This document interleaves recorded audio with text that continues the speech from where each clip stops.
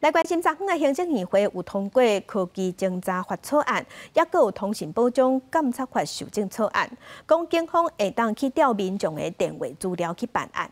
也毋过民间团体是表示，总共若安尼死，安尼就有侵犯隐私的记录。联合被害人设计掠车手诈骗问题，逐工拢上演。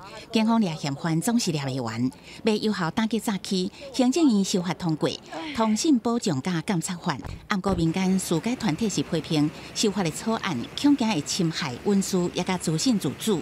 今晚早上就要伫法院百姓，这完了引起立委的质疑。把一些特定的轻罪排除，引诱而少从事色情业的，这个都是很轻。如果说这个这个不拿掉，这个都没办法掉通年脱逃罪，这也是轻罪。那个那个这个像我们上次那个杀警案，这个如果说没有掉这个这个这个记录的话，会延误时机。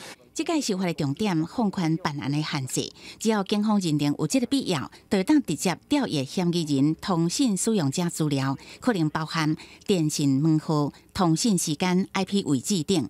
有立委认为，恐惊有乌白调阅的问题，建议百度轻罪适用。有立委表示，该采检察官保留。你们现在一步啊，从法官保留跳到什么司法检察官也可以吗？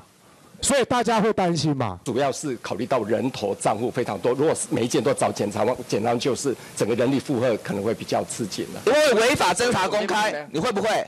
你会违法侦查把这个讯息？我们不会把这个。我跟你讲，你当然说不会嘛。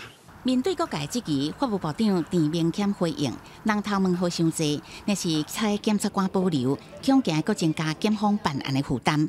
由基层检察官组成的检清检改，呼吁民团无应该主动立法。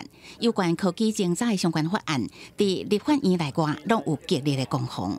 记者综合报道。